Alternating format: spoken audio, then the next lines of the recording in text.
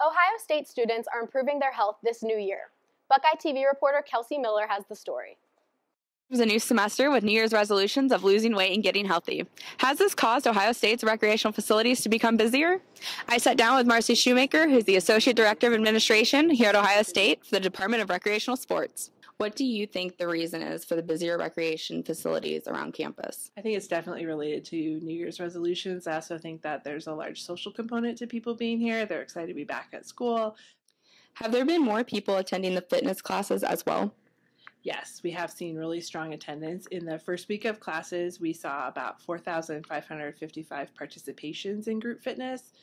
I am here at Jesse Owens South at The Ohio State University. It is around 3 o'clock Wednesday afternoon, and we are about to get some opinions of students working out. Have you noticed that the gyms have been more packed recently due to the start of the new semester? Uh, absolutely. I think the gyms are a little more packed than they were before, especially at nighttime. Because it's the start of the semester, work hasn't really kicked in yet. There hasn't been many exams. People want to work out. Uh, maybe it's the new year. People want to get in new habits. And uh, have you ever tried any of the fitness classes here at Ohio State? Yeah, I have. I went to a circuit cycle bar class. With the campus as active as Ohio State, will we ever see these New Year's resolutions fade away, or will the gyms remain this busy for the rest of the semester?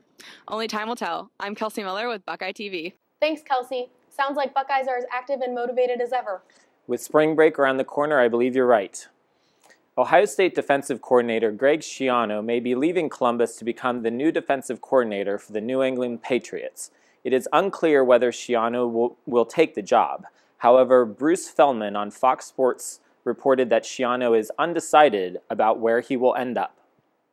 And now for an inside look at Ohio State's game against Penn State last week, here is Brad Murray. The Buckeye basketball team is off to a record-setting start under new coach Chris Holtmann. The Buckeyes are currently 18 and 4 and 9 and 0 in the Big 10. I was able to catch up with some fans who sensed a new energy in the crowd. There's a lot more students flooding um, the actual student section, and there's a lot more energy. I don't. I, out of the five years I've been going to the basketball games, the uh, Nut House has not been as loud as it was during that Michigan State game. So there's just a new energy. Fans are wanting to come more. We're um, back in the top 25, like I said. So there's just a new type of energy, which is great, and I think the players feed off of it as well. I think this team has really exceeded all expectations, um, and honestly, I didn't really envision much coming into the season. Uh, but they really surprised everyone here. I mean, they're still undefeated in the Big Ten and really going on a great run. Um, and I think it's really brought a lot of energy back to the Schottenstein Center. So it's really great to be around the atmosphere for all the games. The Buckeyes took on Penn State Thursday night in a Big Ten clash. Penn State started out hot, raining threes and building a big lead over the Buckeyes. The Buckeyes were able to battle back and even the score thanks to efforts from Keita Bates Diop and Jae'Sean Tate. After Keita Bates Diop hit a late three with five seconds left, Penn State answered with a miraculous buzzer beater from Tony Carr. Despite the loss, Buckeye fans remain optimistic for the remainder of the season. I think, I mean, definitely with we've shown we can hang with some of the bigger teams. Um, I'd say definitely in the March Madness tournament. Um, hopefully, you know, maybe Sweet 16, Elite Eight. I think anything past that would definitely be gravy. But I mean, compared to where again most people expect us to be, I think even making the tournament really is exceeding expectations. Um, ESPN had us at a number two seed, so I mean, take it what you will. I do see us at least getting to the Sweet 16, maybe Elite Eight, but um, obviously everyone wants us to be a champion at the end of the day. For Buckeye TV, I'm Brad Murray. Ohio State basketball has seen legends like Jerry Lucas, Katie Smith, and John Havlicek. But did you know a current Buckeye recently set the career Big Ten scoring record? Colin Hass Hill has more. What record hasn't Kelsey Mitchell broken? The senior Ohio State guard has all kinds of school records, and now she broke another. Today, she became the Big Ten points leader. Entering Saturday afternoon's game against Michigan State, Ohio State's Kelsey Mitchell needed 17 points to pass former Minnesota guard Rachel Banham's record for the most career points by a man or woman in Big Ten history.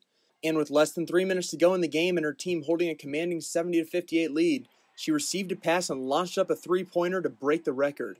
And in true Kelsey Mitchell fashion, she ran back on defense only to receive the ball again and follow up the record breaker with a second triple just seconds later. Michigan State coach Suzy Merchant had only one way to describe Mitchell's fourth quarter threes. I mean, Kelsey Mitchell. We've been Kelseyed. Mitchell finished the game with 3,098 points, and she already had the most career threes by any Big Ten player. But hopefully we can can really continue to you know celebrate these moments and, and, and get to the end of the year. And I think we'll look back in, in amazement of how much she's been able to accomplish. No Kelsey Mitchell accomplishment is too surprising, not even for her, a two time Big Ten Player of the Year. So, when asked after the game whether she even knew she was close, she, of course, said no. Actually, honestly, I didn't know. I didn't know nothing about that. Only because I thought Rachel Bam had like a lot of points more than I had. So it never even dawned on me that that's who I was in competition with in regards to points. Since she's a senior, Mitchell's career is coming to a close. That's not necessarily a bad thing for one opposing coach. I don't know. I just told her after the game, I said, I hope I never have to play you ever again as long as I possibly live. For the rest of us, though, that means we will soon no longer be able to watch one of the most productive players dominate college basketball. For Buckeye TV, I'm Colin Hossell. Overwatch has been popular as an esport since the game came out in 2016. Now, in 2018, a new competitive league has been formed. Sean McCready is here to tell us more. Esports popularity has been on the rise in the past couple of years, with games like League of Legends, Dota 2, and Counter Strike Global Offensive being among the most popular. Overwatch, which is a competitive first person shooter, has been the latest game to attract massive attention from esports viewers. LA, please put your hands together and welcome the Dallas Fuel to the stage. The developers of Overwatch wanted their game to stand out among other esports, so they decided to create Overwatch League, which resembles a more traditional professional sports team setup, with teams in cities from around the world. I talked to members of Ohio State's esports initiative to hear their opinions on the league and if having teams based in cities would be an effective way to reach a larger audience. There's that sense of pride, and I'm from Pittsburgh, Pennsylvania. I don't watch baseball, but I'm going to root for the Pirates just because I'm from Pittsburgh. You know, there are these people they're going to hear about their teams being from Dallas, Houston, and they're going to be like, I really don't know what's going on, but I'm going to root for them. And then eventually, you know, they'll see what's going on, they'll learn, and then that breeds into people that would have never been interested in it to mm-hmm. really start to see what it might be about. And it all stems from maybe just that initial hometown pride. In the first week of games, Activision claims that more than 10 million unique viewers tuned in over the four day period via Twitch, MLG, and Chinese streaming partners, as well as 400,000 concurrent on Twitch alone. An esports tournament is set up very differently. It's like they hold it during one weekend, it's only three days long, all the teams are there, and you just watch as much of it as you can because it doesn't happen very often. And that's why I love Overwatch League because there's just so much to watch and so much to enjoy.